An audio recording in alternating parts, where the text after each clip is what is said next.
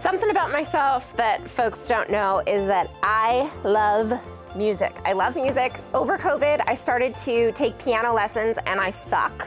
But I love it. It's using a part of my brain that isn't my strength. And um, so we're gonna start a new series and I'm gonna talk all about different types of music, why I like it, and maybe some even history about it. So I'm excited about that.